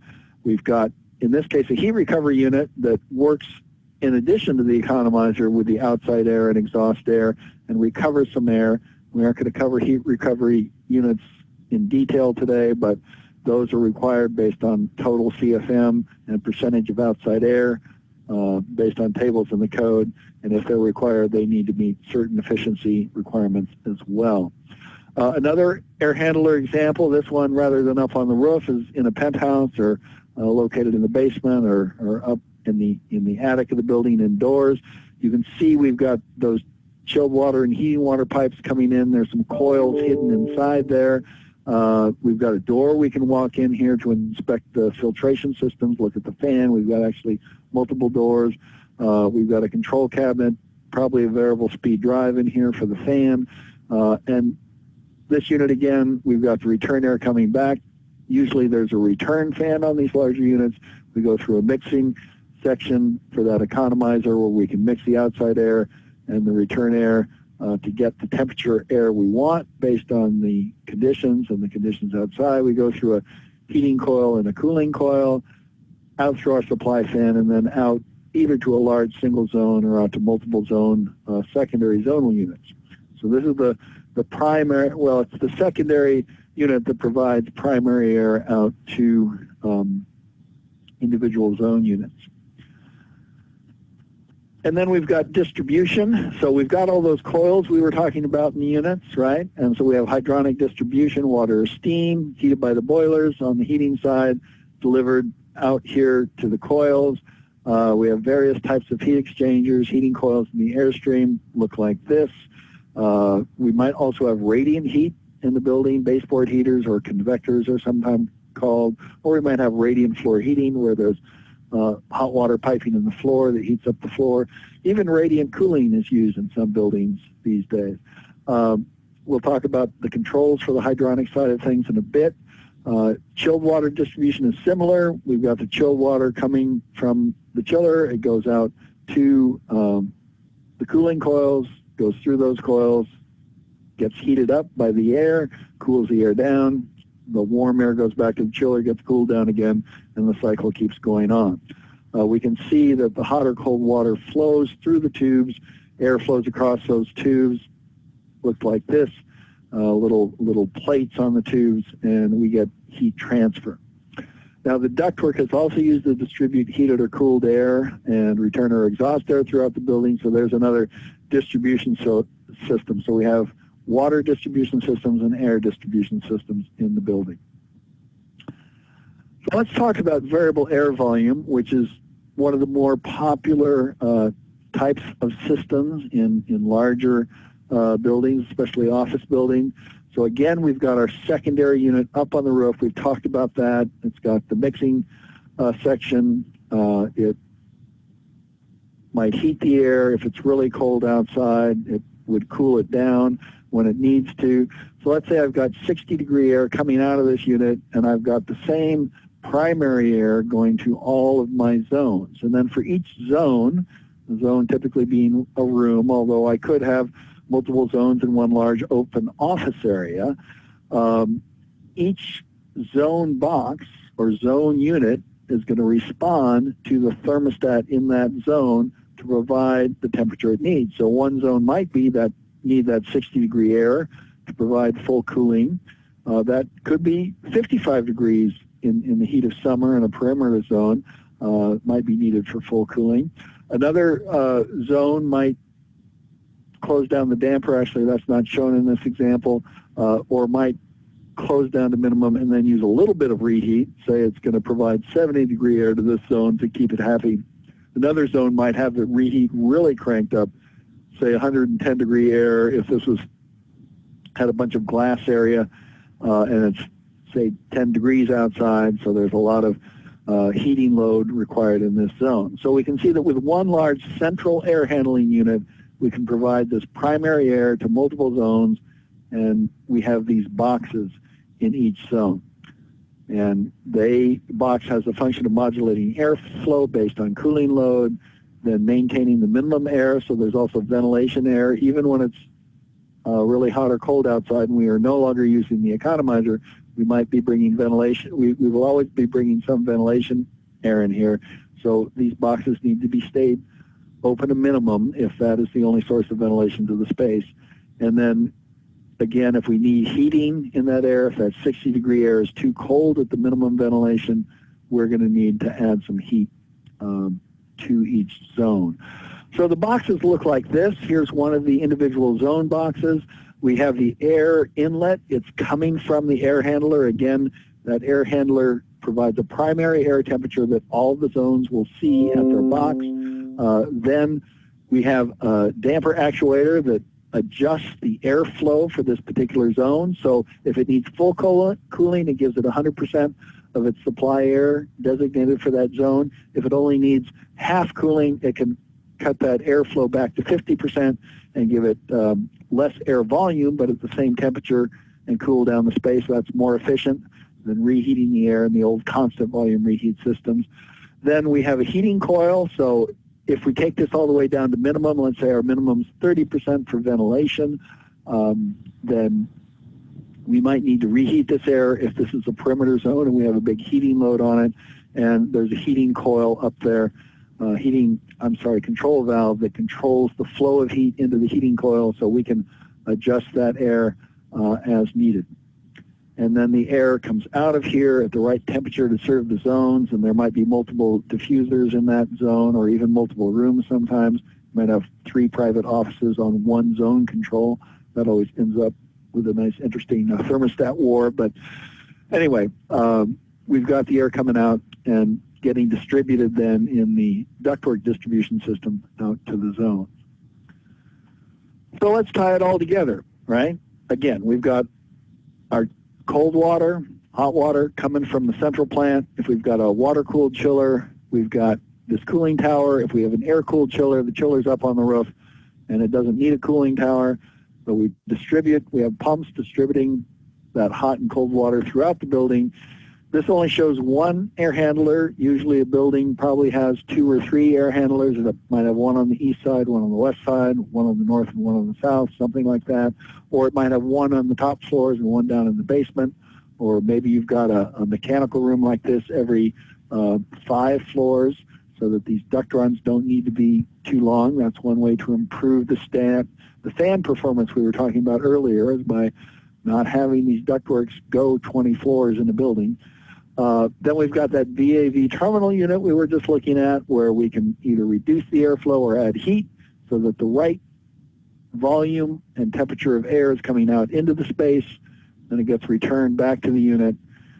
We do our economizer if appropriate or minimum outside air if it's not appropriate and the cycle just keeps on going. So again, the central plant has the boiler, cooling tower chiller, distribution is by pumps, pipes, control valves. Also, we've got distribution of the air, and the secondary system has an air handler, and we've got some VAV terminal units out here at the zone level. So let's talk about controls for these systems. There are a lot of control requirements. This may be one of the more confusing parts of the code. Hopefully we'll shed a little light on this, although again, uh, we're working at a pretty high level here as we go through. Um, so let us uh, get into controls. Well, first of all, controls can be complicated. Uh, so that's a warning. And actually, this picture is of an actual control system where, um, you know, an, an, earlier style one before we had everything hooked together uh, with electronic networks, where all these little wires uh, had to patch into the right place to control things. So um, sometimes that level of control complexity exists inside the DDC system in the way things are latched together in there. So let's again hit our high impact uh, measures that are listed in the code. We'll come back to the five degree deadband again uh, and talk about how that applies in VAV systems. We'll talk about limitations of simultaneous heating and cooling, uh, VAV ventilation optimization, and supply air temperature and fan static reset controls, okay? Those are all uh, requirements in the code relating to this VAV reheat system, which again is one of the more popular systems in uh, modern building construction. So the deadband requirement. Hey guys, the deadband requirement applies to VAV boxes too, okay? And I think many people ignore that. Uh, just because the lease specification says temperature shall be maintained at 2 degrees Fahrenheit does not allow a 1 degree deadband, sorry. A 5 degree temperature deadband is still required, okay? So that means that the VAV box controls must have separate heating and cooling set points. So here we're looking at a diagram that shows maximum heating out of that box, maximum cooling over here out of that box. So you might think of this as when the room is warm, this is when the room is cold, uh, and we need lots of heat, warm, we need lots of cooling. I need a dead band here, so I need my cooling set point, say around 75 degrees, and I need my heating set point, say around um, 70 degrees and and those can vary. We don't care if you want to shift those seasonally. That's fine. Uh, but we want a dead band at any particular time. And during that dead band, I don't want anything more than what's called the minimum box amount of air going into the space, and I do not want the heating coil on. So that's what we're looking for. Um, and frankly, again, there are still, say, state lease requirements or call for plus or minus two degrees, which you cannot meet with a five degree dead band. But I believe the Energy Code uh, takes precedence over those requirements. So the dead band occurs between heating and cooling operation, as we said. The minimum damper positions are maintained. We still need that minimum amount of ventilation air. So this vertical scale shows either percent of air, maximum supply air, down to minimum supply air. Uh, that's this line. And our dotted line shows us what's going on with our uh, supply air temperature related to our heating coil in the box. So we want the reheat valve closed during the deadband. Okay, now you can find this out uh, in the specifications, what the temperature settings are, in the control sequences. This can be mentioned in the commissioning report potentially. Uh, we'll see later a little diagram you can call up possibly on the DDC system that shows you what those set points are over time, and I'll discuss that when we get to that diagram. Um, but it, it can be inspected. Uh, minimum ventilation reduces the reheat of cooled air, so that's important. So when we get in this heating mode, we pretty much want, and most of the time, that minimum ventilation will be adequate to uh, to meet the heating requirements, especially as insulation requirements are getting uh, more um, strong. And so we sit at minimum ventilation and we bring up the supply air temperature to the maximum. Uh, and then once we reach the maximum, if we have a really cold situation or a really high heating load, we might actually have to increase the ventilation air from the minimum to uh, say 50%. And that increase to 50% is allowed. This is a dual maximum set point. I believe that's a new requirement in 2015 or, or new allowance in 2012. Actually, you needed to stay at this minimum position. But there's some benefits to that. because we don't want to increase our heating temperature so high that we end up with all the hot air up at the ceiling and not circulating down into the space. Now, that minimum ventilation set point uh, can vary. Uh, the code calls for it to either be 30% of the design airflow um, or higher percentage if it saves energy. I'll talk about that in a second, or the required ventilation amount needed in that space. And if you do the multi-space equation in the International Mechanical Code or Standard 62, uh, it'll tell you for critical spaces on a ventilation point of view what that minimum needs to be. Sometimes it is higher than 30%. And this higher percent if it saves energy, again, I believe that was added in 2015 to the IECC. It's been in ASHRAE for um, several code cycles. Uh, in the case of a school that has a very high population in the classroom, uh, if we're stuck down at this 30% level, we might not be able to meet the ventilation requirement even if the supply fan is 100% outside air. So it might be better off to put this minimum ventilation in the school up at 60%, um, and that way we can throttle back the ventilation rate at the central fan. So it's a trade-off. Um, if a higher percentage saves energy, and there should be some substantiation for that uh, from the mechanical engineer um, to go above the 30%. Now there's also a new requirement, uh, again, it's been in ASHRAE and got moved over into 2015 IECC uh, this last cycle uh, for VAV system ventilation optimization. Now frankly, this is a pretty uh, sophisticated control algorithm. Uh, modern DDC systems can handle it. Um, basically, what we're doing is the ventilation design is based on VAV boxes all at their minimum setting, right? So uh, my critical zone is, you know, I'm setting my uh, outside air back at the central uh, unit at the secondary main unit there, supplying the air to all the zones based on this minimum setting. Well, if the VAV box is in cooling, and it's often the case, like I fill a conference room full of people, that might be my critical zone, and the Box open, say, up to 100% because there's all those bodies in there we got to cool off. Well, I'm now giving it more ventilation air as a percentage in the system, which means I might well be able to throttle back my ventilation air at the um, central fan. So Again, it's related to the multi-space equation and actually dynamically looks at that calculation in real time in the DDC system and makes adjustments. This can usually be verified only through commissioning or if this ventilation optimization is stated in the sequence of operations, it, it's a little bit difficult just to simply inspect out on the job. But you can look for it in the sequence of operations or you can uh, look at the commissioning report to see if it has been implemented. And that, again, is a new requirement in 2015.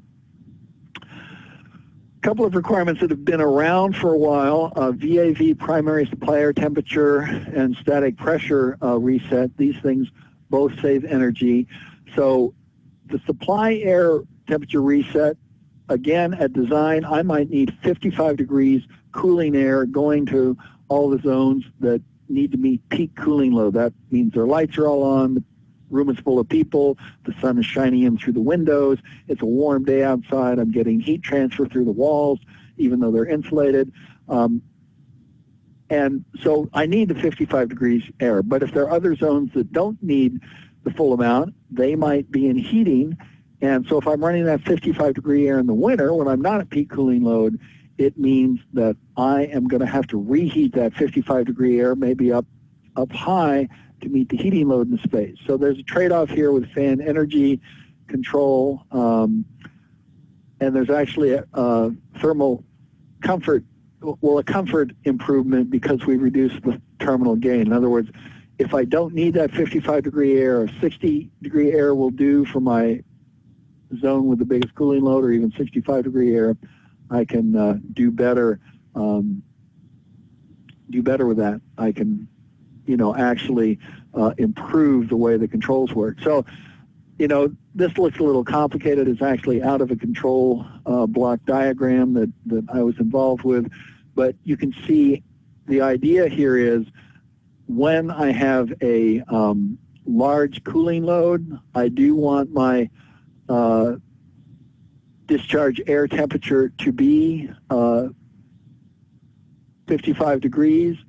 Um, and then through a range, when I go to a moderate uh, cooling load, I might let that float up to a higher set point, and that set point uh, might be 55 degrees. It might be, um, you know, 65 degrees. It, it needs to be 25% of the difference between your design supply air and temperature, but it can often be more than that. Um, and then I might also reset my uh, static pressure reset. Now, what does that do? That saves us fan energy. So if I've got a high degree of static pressure, say three inches of static pressure in my ductwork, and I've got every damper in the building on those terminal units closed halfway because I don't need that much air, even though I've got a variable speed drive, I'm pushing more static pressure into the system than I need. Uh, so if I look at all those dampers and I keep lowering that static pressure until one of the dampers is all the way open, then I'm going to have uh, a reduced fan energy use. Again, these things usually require commissioning to verify, and uh, when we get to the hydronic system, we, we might see how we would um, see what's required there. So let's talk about the hydronic system. Um, What's its purpose? Well, we've got this great central plant down here making hot and cold water. We've got our secondary system that has coils in it that need hot and cold water. So uh, we got to get it from point A to point B, and that's what the hydronic system does for us. So it connects the central plant and the sources of chilled and heated water to the cooling and heating coils in the secondary and zonal HVAC system. So it also would run uh, hot water out to all those reheat boxes as well. The system includes pumps, piping, control valves, and the heat exchangers are part of the system or connected to the system, although they're really in that secondary HVAC system or the zonal uh, control systems. So most hydronic systems are required to have variable flow. In other words, um, we, we want to vary the flow so the pump isn't doing the same work it needs to do at design. In fact, there's two main flow requirements. Uh, we need variable flow when the total pumping is greater than or equal to 10 horsepower. So if all the heating water pumps in the system total more than 10 horsepower, then yes, I need to do it. And if my capacity, either on the cooling or heating side, is greater than 500,000 BTUs per hour. And those requirements are separate for heating and cooling. So I might require variable flow on the uh, cooling, but not on the heating, depending upon the loads and the pumping horsepower. What that means is mostly we're going to see two-way valves in that system. So what's the difference? We've got three-way valves and we've got two-way valves. Uh, good, bad, right? Now, you might see some three-way valves, and we'll, we'll talk about that. But in a three-way valve system, in the left part of this diagram is a constant flow system. What that means is out in the system, I have a pump. Uh, it might even be the primary pump. I might only have one pump in my system. And that is a constant flow based on what I need at maximum design, whether it's maximum heating or cooling.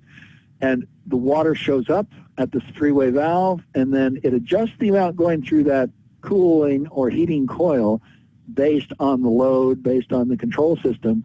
But all the rest of the water is just going to bypass around the coil and come back. So my total flow is constant, and um, I do not save any pumping energy at part load, and remember we're at part load most of the time.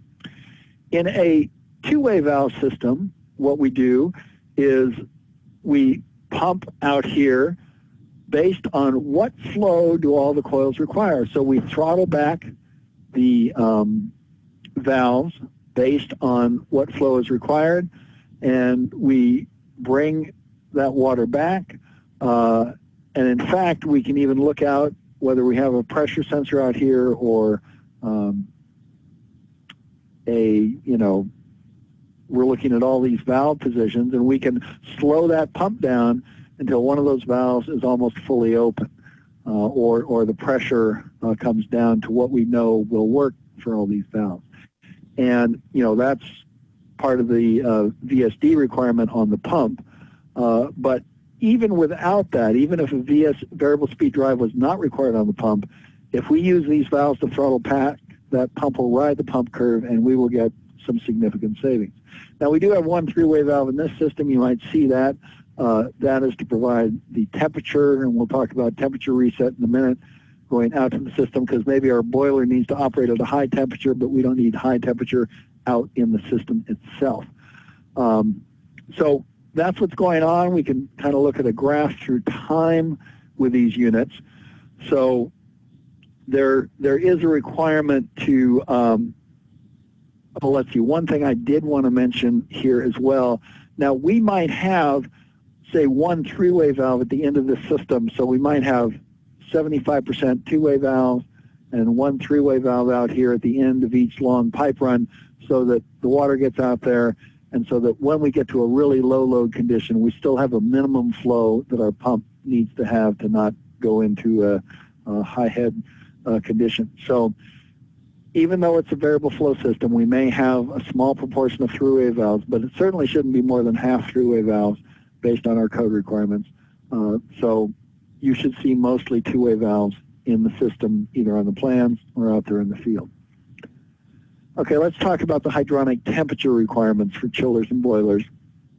So we're required to automatically reset the supply temperature. And that's, you know, in, in the code section 403.4.24. Uh, we need to reset by at least 25% of the difference between design, uh, supply, and return. And that reset can be based on a number of things, outside air, return temperature, zone demand. Uh, there are a number of ways to do it uh, as long as it gets reset. The chill water reset allows our chiller to operate more efficiently, and in fact, operating that chiller at a higher chill water supply temperature, remember that refrigeration discussion we had, that compressor has to move the pressure uh, from the pressure of whatever temperature our chiller is supplying up to the condenser temperature we can get out to our cooling tower. Um, if we can raise that chill water supply temperature, it means the compressor is doing less work. It reduces the lift done by the compressor, less work, and we save significant energy on the chiller. So just keep that in mind. That's why we're doing this. Um, heating water reset provides a couple of benefits. On, on a condensing boiler, at, at a high uh, return water temperature, a condensing boiler does not do us much good as far as condensing. So we want to reduce uh, the distribution temperature. So we only need the hottest heating water temperature at peak design when it's really cold outside. Um, so we can also reduce distribution losses, all that heating water going throughout the building, even though the pipe is insulated, is losing heat wherever the pipe goes. And we can verify this in the construction controls and sequences. The commissioning report should tell you whether you've got temperature reset. Again, section C408 talks about the commissioning report or we can see the trend plot on a DDC system.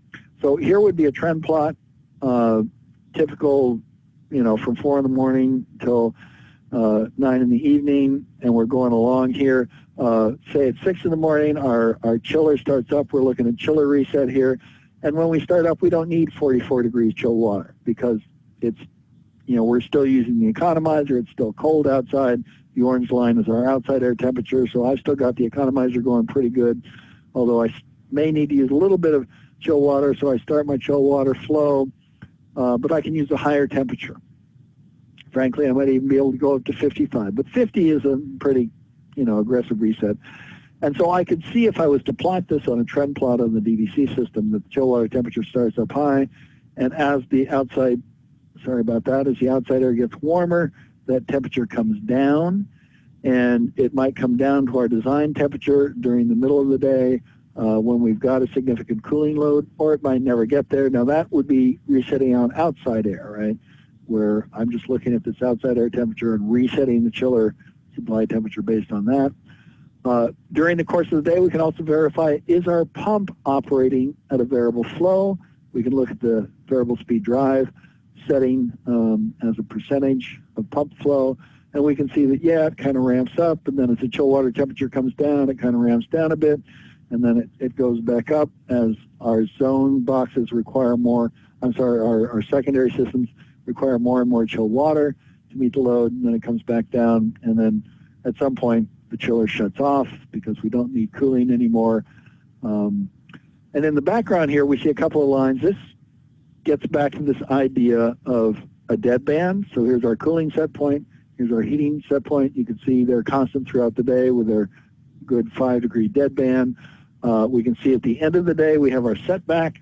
So the heating sets back to a lower temperature, maybe around 58 degrees, 60 degrees, something like that. The chilled uh, cooling set point goes up maybe to 80, 85 degrees. Um, and because of that, we should have very little operation of our systems during the night. But if for some reason uh, we got too warm or we got too cold, the systems can turn on automatically and just keep things from getting too out of hand for the morning.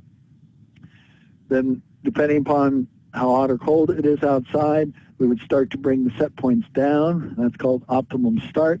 Uh, we bring them down so that at some point the actual space temperature would kick in and we would turn our systems on uh, and start meeting our load.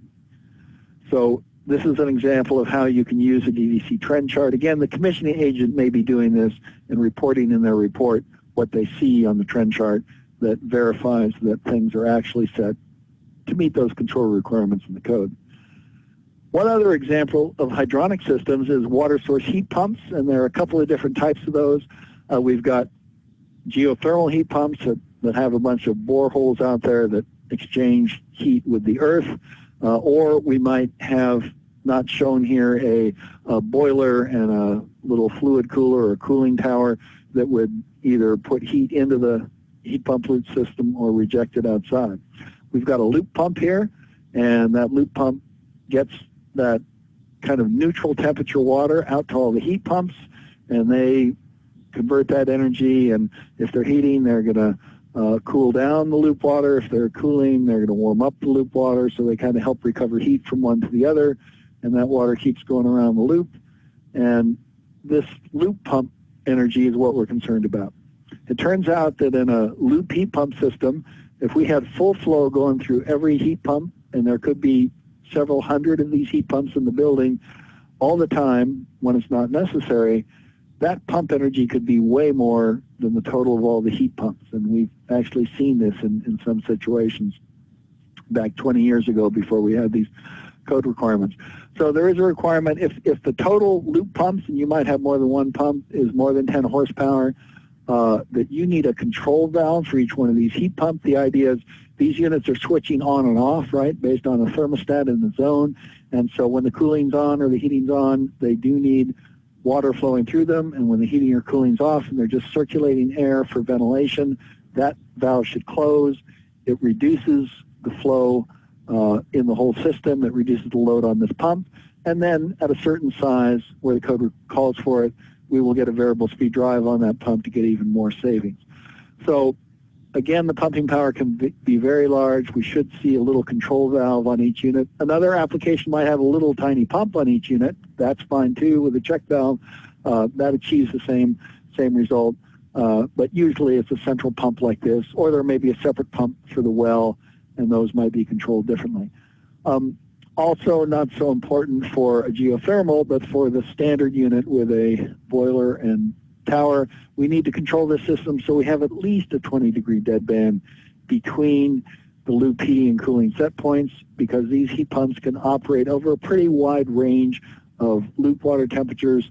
Uh, so we don't want that too tight so that we can allow this recovery from one zone to the other to occur. Um, and that's it on, on heat pumps. There's more information in the code about that. We covered that one pretty quickly. So let's wrap up here with the HVAC high energy option and, and get on to some questions uh, before we wrap up. So one example of a high energy option is a condensing furnace. You know, not always so available residentially, but, but we'll talk about that. So there is an HVAC high energy option that's been in the code uh, in the ICC for a while. It is not in 90.1. Uh, but basically, if you choose that in, uh, there used to be tables in the code that were separate efficiency requirements. Now it just says all equipment, all equipment must exceed the efficiency requirements listed in the table by 10%. Um, and the equipment not listed in those tables is limited to 10% of total capacity. Now VRF is not listed, however, there's a reference to the VRF tables in 90.1, so VRF can be used to meet this requirement, um, even though they are not don't have a table in the IECC. That reference to 90.1 brings them into the picture. Um, so the idea here is we want to increase the heat pump efficiency or the chiller and boiler efficiency or even the furnace efficiency, um, although typically that would require a split system and a more residential type furnace within the building. Um, although, you know, it, it's difficult for package units with furnaces to meet the extra efficiency requirements, uh, although you can do the split system with indoor condensing furnace, or there are some gas duct heaters that do meet the condenser requirements. So you could have an air conditioning only unit with a separate rooftop uh, gas duct heater or inside the building gas duct heater that that met the higher efficiency requirement 10% above the furnace requirements. So let's look at how you deal with this. So depending upon the equipment you've got, let's say I had air source heat pumps. Um, I would have multiple metrics to meet. Again, I have to meet both cooling metrics, EER and IEER, and I need to meet the HSPF for the heat pump or the COP for a larger heat pump. Uh, so I pull out for, again, this, you know, 5 to 11 ton unit. Uh, my code table says 11, 12, and 8. I would um, basically multiply those by 1.1 or add a 10% efficiency improvement. So I've got to be 12.1 or better, 13.2 or better on IEER, and 8.8 or better on HSPF. So again, the higher the number here, the better you are. The only exception to that would be larger chillers where the kW per ton would go down by 10%. Uh, if I'm an air-cooled chiller, again, I've got two requirements, the full load and the IPLV requirement, uh, and I would increase those again by 10%, and I would have to be better or higher than those numbers, both numbers, uh, to meet the requirement. And then if I had a boiler, um, if it 80% is requirement, 88% uh, would be 10% above. A condensing boiler would certainly meet that. So if I had a boiler in here, I would have to meet it. Now I'm going to have to meet it on both the cooling and the um, heating sides to meet this extra efficiency requirement. So let's uh, just summarize. We had all these individual items that I would call my top of the chart items, uh, high impact code items. Certainly every code item ought to be enforced, but uh, you know, these are items that have a particular high energy impact, the snow and ice melt control where those apply, uh, temperature setback on simple systems, five degree deadband, economizer controls, having that high limit set properly. Um, on the more complex systems, again, the five degree deadband does apply. It needs to be in there in, in your zone box controls. And uh, there are limits on simultaneous heating and cooling. Those are mostly met by those minimum ventilations being in place, minimum damper settings for the zone boxes. Um, that ventilation optimization needs to be there again in the sequence of operations or in the commissioning report. Supply air temperature and fan static reset controls uh, need to be there on, on these uh, supply systems. And we've also got those hydronic um, reset controls that we talked about. Other impactful measures, exterior ductwork insulation requirements have gone up and make sure they do have insulation. If they're uninsulation, uninsulated, it can be a very large energy loss. The fan power needs to be within the limits, including all the fans in the system, and the equipment should be properly sized. Um, to not be oversized in the building. So in conclusion, uh, HVAC systems provide the following comfort, heating and cooling, sometimes humidity control. They provide ventilation, filtration, and air movement. Uh, we have multiple system configurations, either unit, unitary, splitter package, where the, the power from the meter goes direct to the unit, um, or the small uh, PTACs, uh, little single zone systems. Those are typically single zone systems. We've got kind of an intermediate package DX VAV unitary system that might also serve multiple zones. So here we've got a unitary system that does serve multiple zones.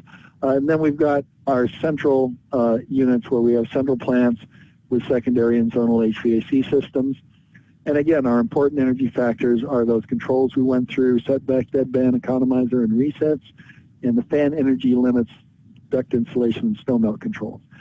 And the energy codes uh, provide viable, valuable requirements for energy savings in our buildings and are an important part of our national uh, infrastructure and meeting energy challenges in the future. And I'll turn it back to Pam to wrap us up here. Thank you.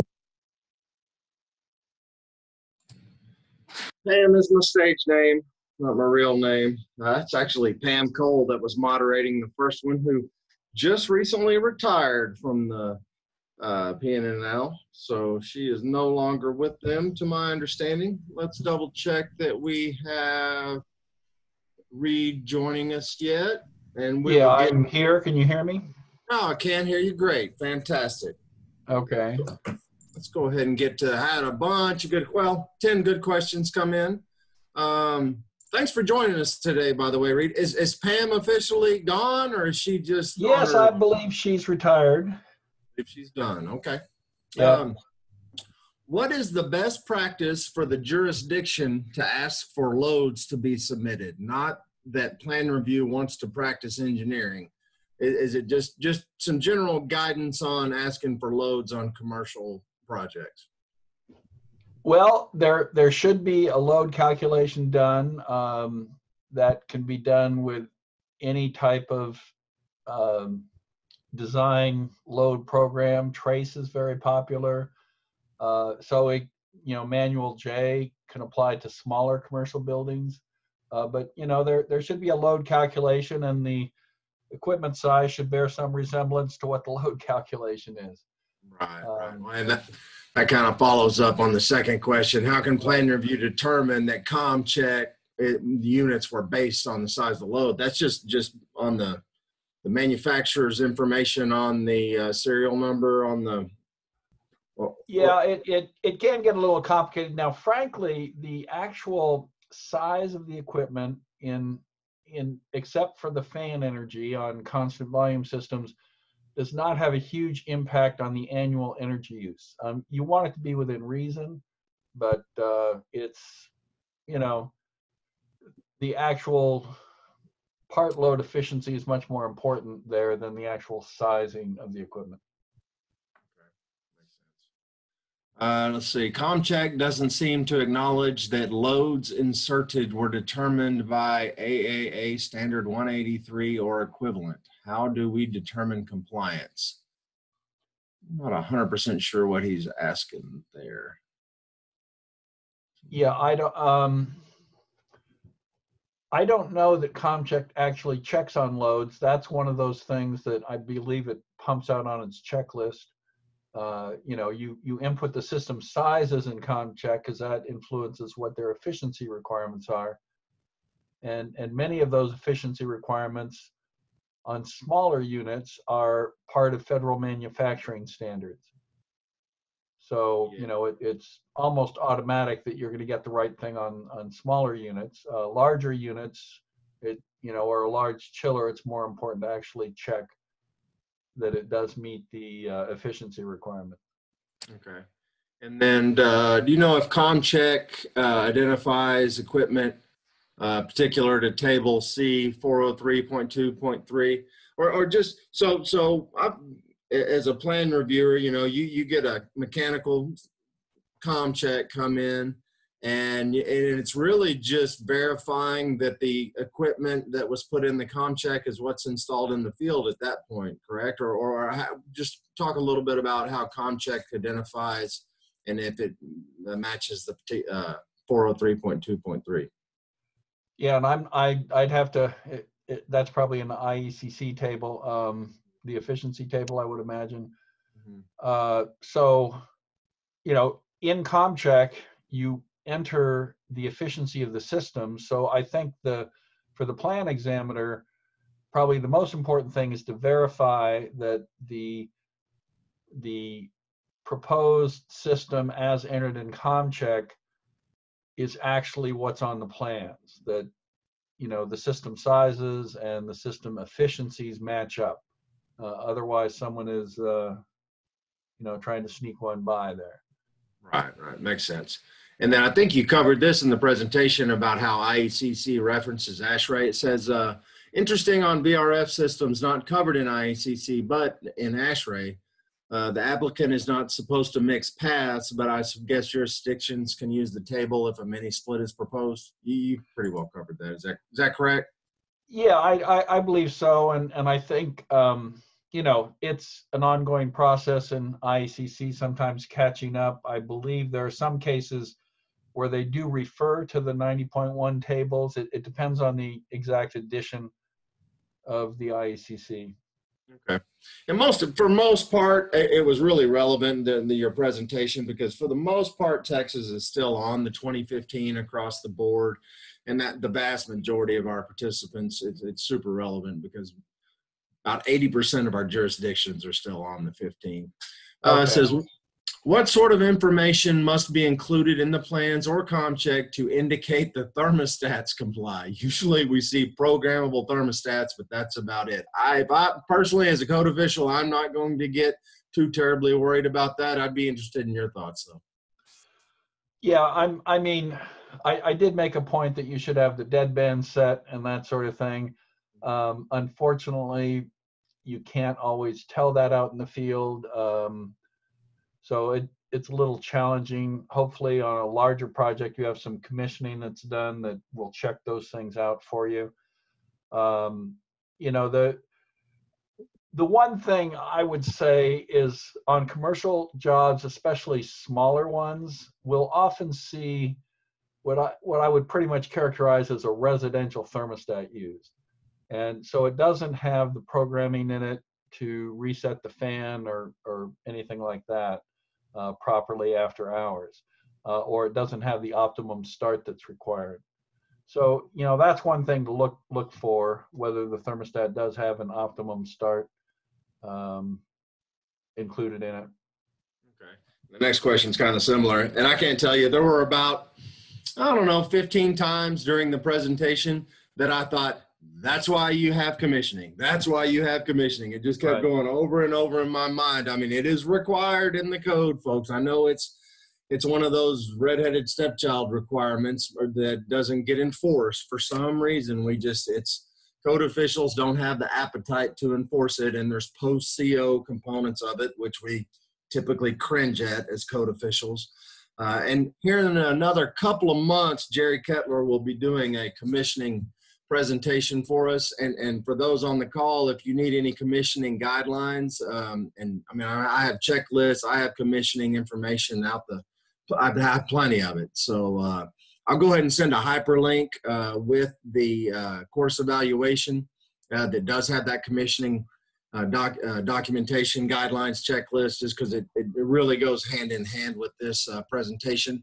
But uh, the question is, what sort of information must be included in the plans or COMcheck to indicate deadband compliance? Well, you know, hopefully there's a set point. Now, frankly, often that just never gets specified in the construction documents. Uh, so IECC has been a little bit ahead of 90.1 as far as commissioning requirements. And so it, it would be nice if in the uh, commissioning report that was addressed. Uh, it, it may or may not be. Um, 90.1 has just recently, with the 2019 edition, adopted much clearer commissioning requirements, not really pushing the testing ahead, but at least on larger buildings over uh, 10,000 square feet or, or buildings with complex controls. Um, they do require commissioning now much more clearly than they used to. Um, And then, let's see, dampers should be shown on the plans to show compliance, correct? You know, often the damper is integral to the unit and may not be shown on the plan as, as far as the outside air dampers. Um, you know, there should be a specification ses- section that talks about the leakage requirement of the damper or, or what leakage levels required. Um, you know, but often, especially for package units, those dampers are, are pretty much integral to the unit, so they wouldn't be separately shown necessarily. And the manufacturers, in, in your experience, the, the integral dampers, I mean, they're going to meet the leakage requirements, or is that something we need to really be looking at as plan review and code officials? Yeah, one thing I've observed in in um, some of the code work that we've seen um, is that the manufacturers, in many cases, are, are more on top of things than uh, sometimes the specifying engineers are, frankly. Um, you know, because they know that if if you were to ding them not meeting code, that they'd be in trouble and, and have to, you know, replace the unit. So we've we've seen the the manufacturers usually be pretty much up to up to snuff on code. That's been my experience as well, uh, for the most part. It says uh, FDD would typically show up in the COMcheck inspection checklist, which to show compliance at plan review should be checked complies by the engineer at least, and seems to be should be noted in the plans somehow. Correct? Not Yeah, again, that could be a specification item. Now, it's interesting, I talked about the economizer, and that's where there's a specific fault detection requirement. Uh, and the, uh, the older style, um, economizers, controls, the old forty-year-old, uh, you know, solid state ones do not meet that fault detection requirement. The newer ones that are digital do.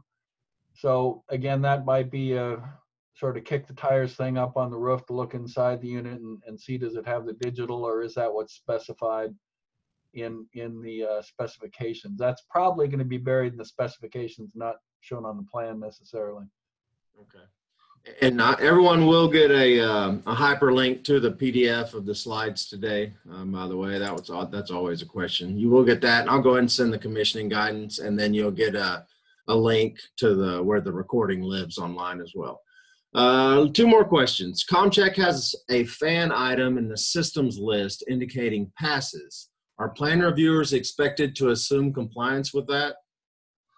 Well, again, the, the trick is if what they input into COMcheck is actually what's installed or what's shown on the plans, then yes.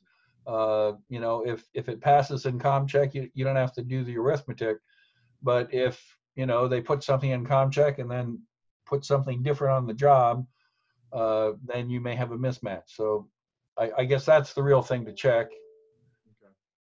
Um, and then I'm just curious. I recently had an HVAC manufacturer contact me, sent me an email, and he was all distraught because he had been getting rejected at at, a, at the city because he didn't meet the uh, ER requirements. I think is what it was. I don't remember the exact details, but he was like, "Man, we we manufacture our stuff's like for hazardous location and." And server, massive server rooms that get really hot. And, and his claim was that their equipment was using bigger and better fans and motors and stuff that would actually last in high hazard and high use areas and he should be exempt from that that efficiency requirement. Could you talk about that generally? Well, there, at least in ninety point one, I don't know if it's in the IECC, but there is a separate um, table that's actually been changing over the last couple of uh, cycles for computer room equipment. So there is, you know, a, a specific set of efficiency requirements for computer room equipment, and uh, they should be meeting those. Uh, the fan energy, the same thing. I mean, they should be able to meet the fan energy requirements. Those have been developed in the code in conjunction with industry, so they aren't impossible to meet. Now, if someone has, you know, if, if they're putting in a, a fire fan or an emergency fan, uh, those typically, you know, don't. If, if the fan is not normally operating, if it only comes on to do smoke evacuation or something, that type of equipment doesn't necessarily need to meet those requirements uh, for efficiency. So. Okay, that's all we had um i'm happy to let the we're, we're a few minutes over so i'll, I'll let for the folks that want to see the questions that were asked on the original uh, feel free to hop on the recording and, and go to the end. Um, really appreciate you joining us. Uh, man that that i forgot how thorough that presentation was. You you you really went above and beyond. Do you have interns or something that put together your slides or is, is that just part of what you what you do? Oh, I, you know, we had a basic slideshow and I, and I gussied it up a bit, but, uh, Okay. you know, we, we do have, um, for every code edition at the DOE website, there is a, um, you know, a slide deck that shows all the requirements and shows what's new. we have a new edition of uh, 90.1 out, and we're about to have a, a new edition of IECC coming out the door as well. So I know, I know, you, I know y'all stay busy. You, you're probably kind of like me. You wish ICC would go to five-year cycles instead of three. I think that'd make a lot more sense. Well, I don't know. I, I, I just attended my last ICC hearing, so I'm, I'm headed toward retirement here. So, uh, Oh, you're done, huh?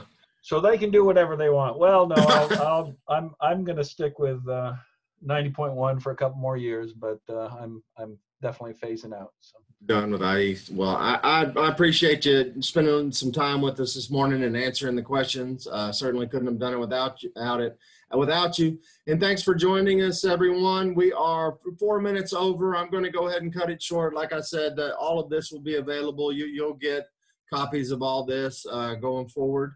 Um, thanks for joining us, everyone, and a special thanks to to, to Reid. Appreciate, it, sir.